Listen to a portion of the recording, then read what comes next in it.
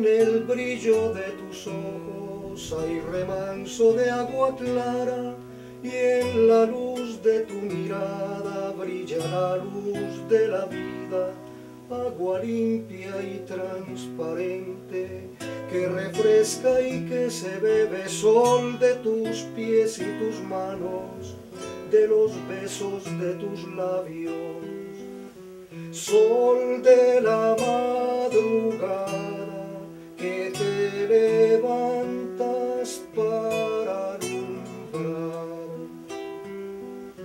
medio planeta mientras el otro medio oscuro está.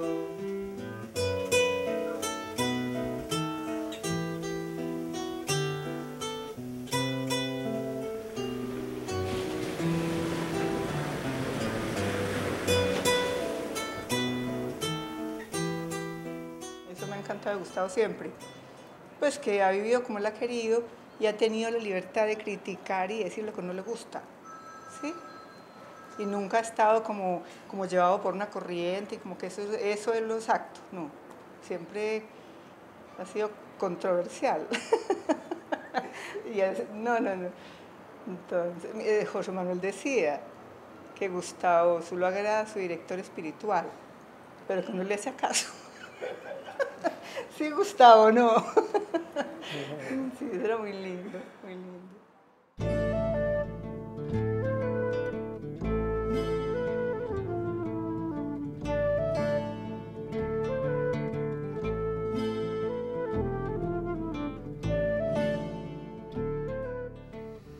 En San Luis, Antioquia, el 18 de enero de 1951, nació un lindo niño, sin barba y sin hamaca, bautizado con el nombre de Gustavo Enrique Zuluaga Herrera, quien llegó a proyectar su luz al mundo.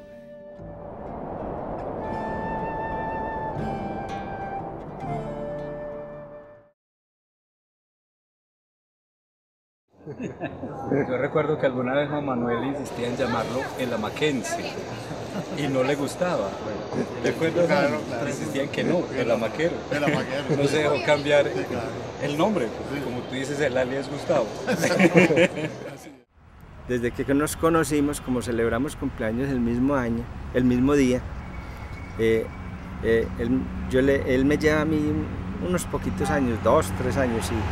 Pero sí nacimos los dos el, el 21 de enero, somos acuarianos, somos del primer día de acuario.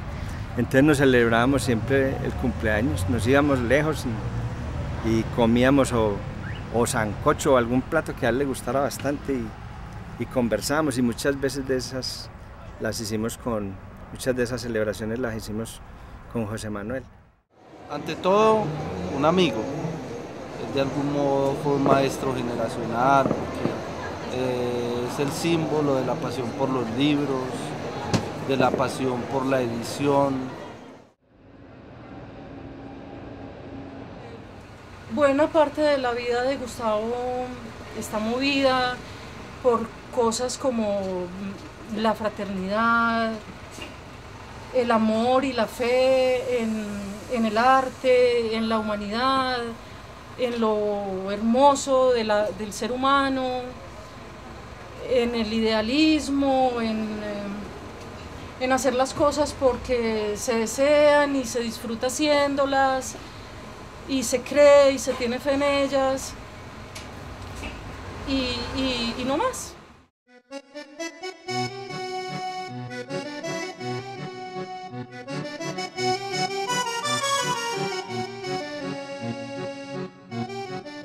El amaquero lo que tiene de bueno es que no es un ser satisfecho, que por esa misma eh, eh, idea ha propiciado tantas cosas culturales y cierto negativismo positivo, parece un oxímoron, parece una, una cosa contradictoria, pero es que ese negativismo positivo consiste en que insatisfecho con la realidad de una ciudad por momentos camandulera y retardataria como la Medellín de los 70 aún, pues su actitud era siempre de insatisfacción con esa realidad, por eso quería ser editor, eh, eh, divulgador, creador de revistas, de librerías, vendedor ambulante. El amaquero fue eh, eh, en- a lo largo de los 70 alguien que de todas maneras puso el pecho en una ciudad de alguna manera amodorrada, que apenas viene a despertar después. Entonces, pues hay una época generacional, eh, la época de los 70, comienzos de los 80, de la cual hago parte, que es la que marca, digamos, como la estructura de, de, mi consolidación como adolescente, como, como, como alguien que empieza a entrar a la vida adulta. Entonces hay, hay, hay, unos fenómenos sociales que nos rodean y que yo creo que todos vivimos y todos nos apasionamos por ellos. Pues está por un lado, digamos, como toda la inquietud alrededor de lo que es el movimiento hippie, entendiéndolo como un movimiento de desobediencia civil, que para mí pienso que tenía mucho valor en muchas de sus cosas y que eh, llena de mucho sentido una reflexión sobre lo social al lado del problema real que se vive aquí en Colombia, que tiene que ver con todas las luchas de la izquierda y del movimiento de la guerrilla, entonces la imagen emblemática del Che Guevara llena, llena de entusiasmo a la gente. Pero, pero al mismo tiempo mi generación es también una generación que está desencantada un poco como de todas esas cosas, porque entonces vemos eh, eh, en las luchas políticas de la universidad, yo era estudiante universitario entonces, eh, un, un, discurso que termina siendo como una cantaleta, así sea un discurso que tiene sentido, que corresponde a una crítica social, finalmente como que no dice nada. A Gustavo lo conocí porque yo también vendo libros en la universidad. Entonces yo surtía donde él, yo surtía donde Gustavo. Y Gustavo casualmente, por esas cuestiones también de, como dice Lucía, del karma, me presentó a la barca de los locos y desde ahí yo estoy con ellos. Sí, en, en, Gustavo era muy fija la idea del oriente, la idea de buscar, de rebuscar, de reblujar. Y él fue y ha sido un reblujón, ha sido, no ha sido más que reblujar la vida y de ahí los, de ahí los libros, de ahí las, las, eh, las hamacas, ese acostarse en las hamacas a esperar que llegara la eternidad.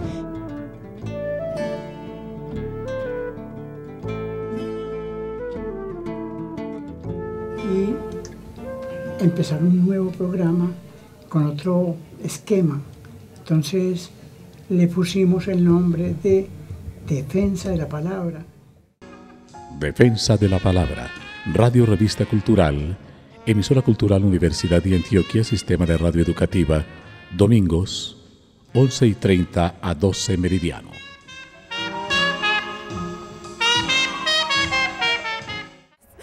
Me anunció que iba a hablar mal de mí en el programa de radio.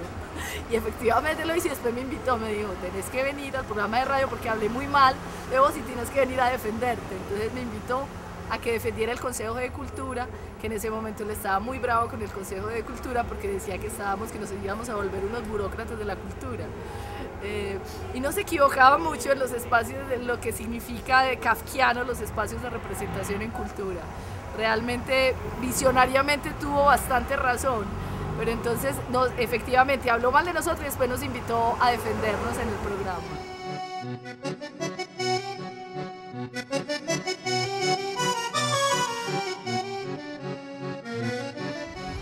Pues para mí la relación con el amaquero ha sido como con la de un gurú, la de un maestro espiritual.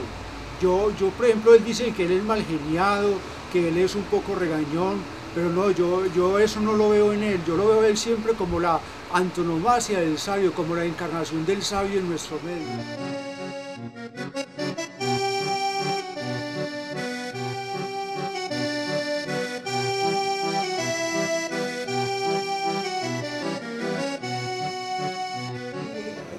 y a mí me encantaba llevar a Gustavo a mi casa a tomar el álbum. Y mi mamá siempre se acordaba y Gustavo también porque no, pues Gustavo se, podía comer 25 buñuelos, no les miento, dos quesitos, pero era una cosa así, era una cosa impresionante. mi mamá siempre se acordaba de él y Gustavo siempre añoraba los álbumes de mi casa. Estoy con Gustavo acá, llega alguna persona y le dice, usted tiene el túnel. Entonces Gustavo para no romper la conversación le dice, el túnel si está aquí, búsquelo, que estoy muy ocupado. Y muchas veces pasa eso, ¿cierto? Gustavo tiene, me da la impresión de que tiene la vida como una fachada, es como mejor que una oficina para encontrarse con los amigos. Esta semana, la semana siguiente, tuviéramos acá, sentado, cerca a nosotros, también para correo, es decir, para ustedes, a otra gran figura de las letras argentinas, a Ernesto Sábato. Tengo actuación en hechos políticos porque un escritor de nuestro tiempo difícilmente pueda ser ajeno a los hechos fundamentales de la vida de una nación o, de del mundo en general. Lo más importante era cuando él veía a, las personas. Es decir, cuando yo, llega, yo llegué por primera vez al puesto, él ya sabía lo que me iba a recomendar. Era como y eso es lo que yo le veo como a Gustavo, cada vez que ve como las personas entrar, bien sea aquí al lugar de la noche o cuando entrábamos a ese puesto, él nos miraba y tenía como una psicología especial, no sé si de vendedor de libros o algo innato en él, pero él ya sabía el libro que cada uno necesitaba.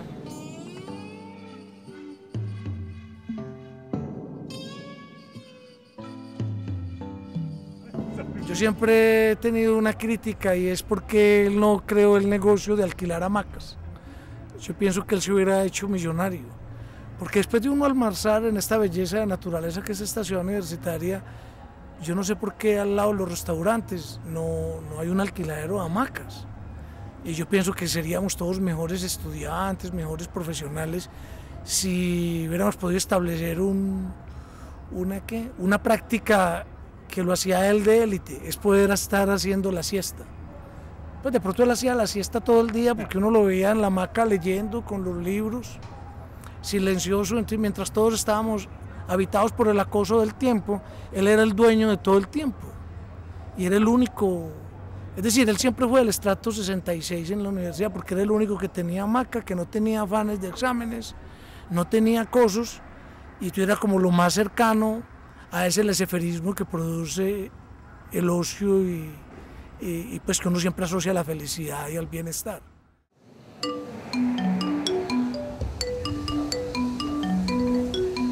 Gustavo, el mero hecho de, de, la defensa de la palabra, ¿cierto? Mira que uno de niño fue educado para que no hablara, cállese, ¿sí?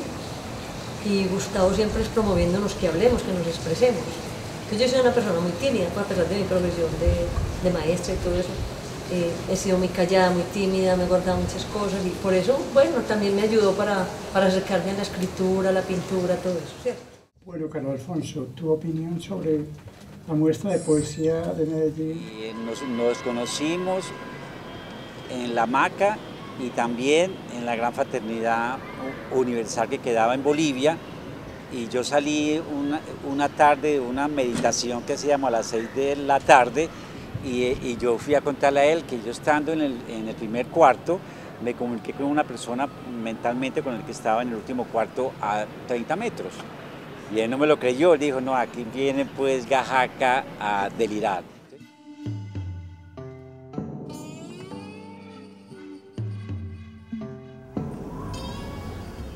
Bueno, Gloria Bermúdez o Aura López, alguna de las dos, no recuerdo quién, me contó que Gustavo dormía al lado del río en Medellín. Hablando con él, él me contaba que efectivamente fue así, pero no porque fuera indigente ni porque tuviera problemas de adicción a las drogas o al cigarrillo o al alcohol, sino que le gustaba como forma filosófica conocer el mundo ir a dormir en lo que él llama descampado.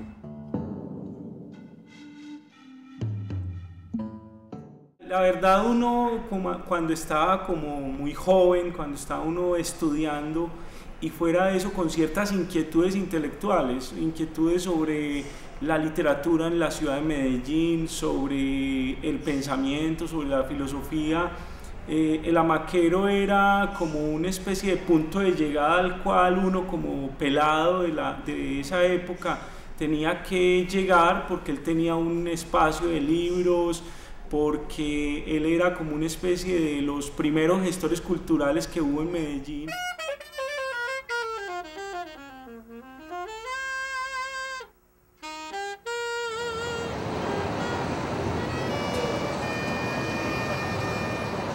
León le está quedando todo bueno. Muy bien. Yo soy un místico y no creo en nada. Yo no creo en nada.